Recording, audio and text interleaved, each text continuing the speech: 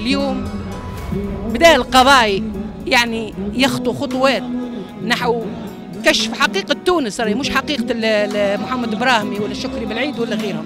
حقيقة تونس. قام الأمين العام للاتحاد العام التونسي للشغل حيا علي العريض من داخل المرنقية.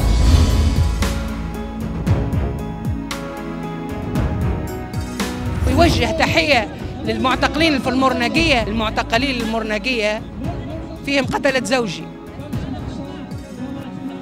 المعتقلين. علي العريض من الذين تواطؤوا في قتل زوجي. يحييه نور الدين طبوبي. شو يحب؟ اليوم تبنى حاجز بيننا وبين المنظمة هذه. معناها بكى أولادي أنا عندي من الصبر. أما بكى أولادي فهمتي؟ حسوا بانفسهم اليوم بناتي وقت اللي سمعوا بما بنور, بنور الدين الطبوبي يحيي سماهم معتقلين. كأنهم معتقلي رأي. علي العريض الإرهابي. زعيم شبكة التسفير. اللي وقت تقتل شكري بالعيد. علي العريض وزير داخلية وقت اللي تقتل محمد إبراهيمي. علي العريض رئيس حكومة.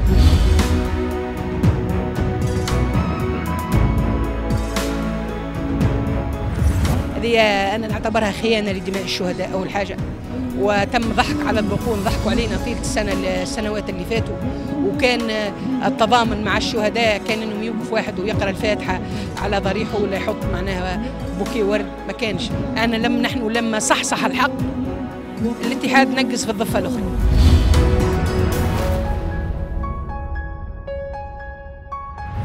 هي ثم حملة عالمية اليوم اسمها الحملة العربية والدولية لرفع الحصار عن سوريا.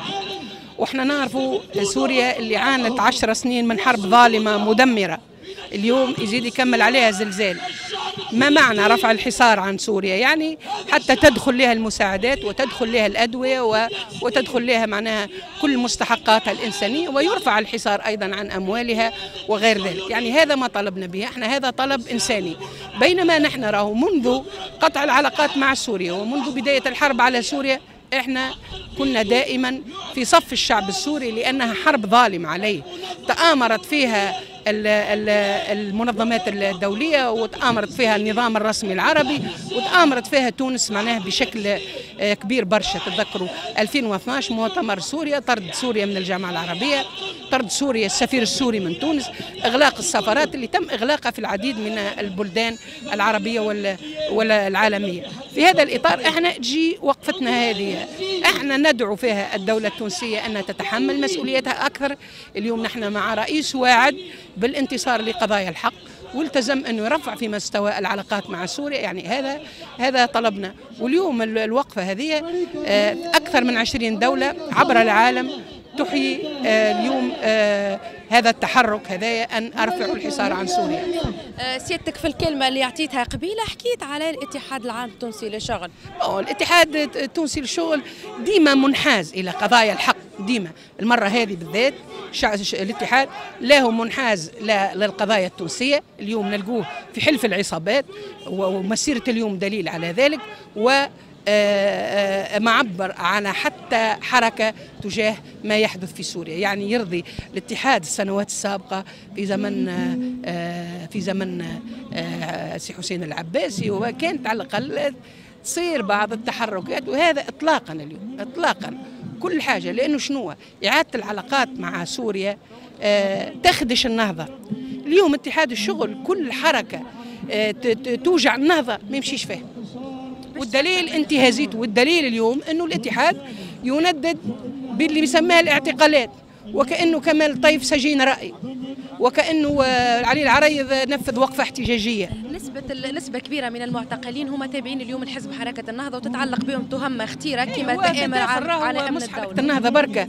هو راهو تداخل فيها تداخل المشروع التخريبي هذايا تداخل فيها رجال الأعمال وحركة النهضة يعني. باش تفهم انت الشعار هذا موجود اليوم الاتحاد يطالب بإطلاق سراح اللي يعتبرهم بين ظفرين معتقلين. يطالب على روحه هو هو يطالب على روحه وثم قضاء أعتقد إنه تعافى هذا القضاء اليوم يتعافى. ولا ما معنى؟ ناس نفذت فيهم جرائم قتل اغتيالات ما عندهم حتى حق أه؟ ونهار اللي الناس ثبت عليهم التآمر على أمن الدولة ولوا معتقلين ولا ينفذ آه، ينفذ معناها آه، تحرك مثل اليوم ويتبناه الاتحاد على نطاق كبير يعني. تفسر موقف الاتحاد؟ والله ما نعرفش سيرش ما نحبش نقول كلام يزيد يوجع بعض الاخيان أكثر يعني شفنا اليوم أما هو هذا مسألة هذه أنا نعتبرها خيانة لدماء الشهداء أول حاجة وتم ضحك على الذقون ضحكوا علينا طيلة السنة السنوات اللي فاتوا. وكان التضامن مع الشهداء كان إنهم يوقف واحد ويقرأ الفاتحة على ضريحه ولا يحط معناها بوكي ورد ما كانش. أنا لم نحن لما صحصح الحق. الاتحاد نقص في الضفة الأخرى. شفنا اليوم القاعدة الشعبية نتاع الاتحاد برشا يحكيوا عليه يقول لك نقصد. علاش اي نقصد هو شوفي هو مش قاعدة الاتحاد الشعبية إحنا من قواعد الاتحاد. لكن آه قيادة الاتحاد هي اللي هي اللي ما كانتش في المستوى بصراحة يعني. القيادة بكلها ما كانتش في المستوى فهمت؟ بينما قواعد اتحاد الشغل هنا اللي واقفين هنا هم قواعد اتحاد الشغل فهمتي؟ يعني الاتحاد راهو نتاعنا نحن ومتاع المناضلين ومتاع الشهداء.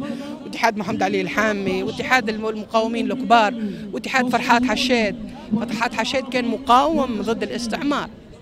اليوم يمكن يمكن. يعني لو إحنا يجينا قوة أخرى أجنبية تحتلنا بالمنطق هذايا نتاع الاتحاد باش نلقوه مع المحتل. اليوم الشارع التونسي ينقسم لشقين. شق يقول بالروح بالدم نفديك اتحاد وشق ثاني يقول لابد من حل المنظومة كاتحاد ولابد من محاسبة نتاعها لا حديث فارغ هذا. حل الاتحاد يعني هو مكسب للتوانسة الكل وهو منظمة عتيدة ومنظم ومنظمة مناضلة. لكن آه ثم حيف اليوم صار في الاتحاد وفي دور الاتحاد. اليوم إحنا مثلا الاتحاد منظورين نحسه تخلى علينا. إحنا موظفين والعمال ولا تخلى علينا الاتحاد. اليوم مثلا أنا في التعليم الابتدائي آه، حالة أخرى واقع نقابة التعليم الأساسي معناها آه، تخلت تماما رفعت يدها يعني. وعود يلتزموا التزامات تسقط تسقط إلى أسفل القاع وبعد يقع التخلي عن هذه الالتزامات. المشكل في الهيكل ولا في القيادة ولا المشكل في القيادة. المشكل في قيادة القيادة السنوات الفارطة عشرية النهضة كان الاتحاد الشغل عنده نصيب من السلطة وعنده مراكزه وعنده وعمل مؤتمر أصدقاء عفوا عمل عمل شو اسمها هذيك خذا جزء من جائزة نوبل وذاقوا العز وذاقوا الوزارات وخذوا وزارات وخذوا كتاب دولة وخذوا سفراء فهمتني؟ وخذوا ملحقين وغير ذلك. فهي مكاسب. إلى جانب أنه ثم التغاضي من الدولة على انقلاب الفصل عشرين في جويليا ولد عمناول سكتت عليه الدولة. آه، تعودوا بالتغاضي على الأخطاء فهمتني؟ ما عادش ما عادش جاء رئيس اليوم ما, ما يعرفش اللون الرمادي. فهمتني؟ فالحسم الحسم اللي حاسم به رئيس الدولة في هذه الملفات ما يريحش الاتحاد قيادة الاتحاد. لذلك هم نزلوا اليوم في انت راضيه على الشعارات اليوم اللي رفعها الاتحاد؟ والله ما عنديش فكرة أنا شنو اللي أما أنا أما أنا علمت إنه نور الدين طبوبي وجه تحية إلى معتقلي آه، معتقلي آه، المرنقية. للأسف المعتقلين المرنقية فيهم قتلت زوجي. المعتقلين علي العريض من الذين تواطؤوا في قتل زوجي. يحييه آه، نور الدين طبوبي. شو يحب؟ اليوم تبنى حاجز بيننا وبين المنظمة هذه. إحنا كعائلات شهداء وأنا نعرف موقف بقية عائلات عائلات الشهداء يعني اليوم جدا اثر جدا جدا أثر فيا. اليوم إنه يوجه تحية للمعتقلين في المرنقية. آه معناها بكى أولادي. أنا عندي من الصبر. أما بكى أولادي فهمتي؟ حسوا في أنفسهم. اليوم بناتي بكوا وقت اللي سمعوا بما بنور, بنور الدين الطبوبي يحيي سماهم معتقلين. كأنهم معتقلي رأي. علي العريض الإرهابي. زعيم شبكة التسفير. اللي وقت تقتل شكري بالعيد علي العريض وزير داخلية ووقت اللي تقتل محمد إبراهيمي علي العريض رئيس حكومة. اليوم بدا القضاء يعني يخطو خطوات. نحو كشف حقيقة تونس راهي مش حقيقة محمد إبراهيمي ولا شكري بالعيد ولا غيرهم. حقيقة تونس. قام الأمين العام للاتحاد العام التونسي للشغل حيا علي العريض من داخل المرنقية التنظيم العالمي للإخوان المسلمين هنا في تونس حركة النهضة. عندما كانت تؤجر الحافلات وتؤجر الأشخاص وتشتري الأصوات وتشتري الإرادة أين هؤلاء؟ من شعب يقطع منذ سنوات تحت حرب عالمية جهنمية رهيبة. أين هؤلاء؟ من ضحايا الزلزال الذين يعدون بمئات الآلاف. أين هم من حقوق الإنسان؟ أين المنظمات؟ أين الاتحاد العام التونسي للشغل؟ أم تراه يحيي الإرهابيين؟ ورجال الأعمال الفاسدين في المرنقية. أين هؤلاء؟ أين منظمات حقوق الإنسان في تونس أليسوا أناسا هؤلاء الذين بدأنا نحن بالحرب عليهم؟ تذكرون أيها الإخوة مؤتمر أصدقاء سوريا في 2012 فيفري 2012 عندما نظم التنظيم العالمي لإخوان المسلمين مؤتمرا هنا برعاية غير المأسوف عليه العميد منصف المرزوقي. اللص الهادي. عملوا مؤتمر أصدقاء سوريا هنا وأطلقوا العدوان والحرب العالمية على الشعب السوري. هؤلاء لا يمكن أن يهتز لهم جفن اليوم وآلاف السوريين تحت الأنقاض وين التبرعات؟ وين الفلوس؟ وين فلوس اتحاد الشغل وين فلوس المنظمات؟ وين الفلوس اللي خلاوة اللي خلاوة جائزة نوبل للسلام؟ وينهم؟ أم أنهم؟ أم أنهم يتظاهرون أسفا على رجال الأعمال الموقوفين اليوم المتآمرين على أمن الدولة التونسية؟ اليوم اليوم أيها الإخوة الكرام نقف اليوم في أول سلسلة من تحركات الحملة العالمية لكسر الحصار عن سوريا.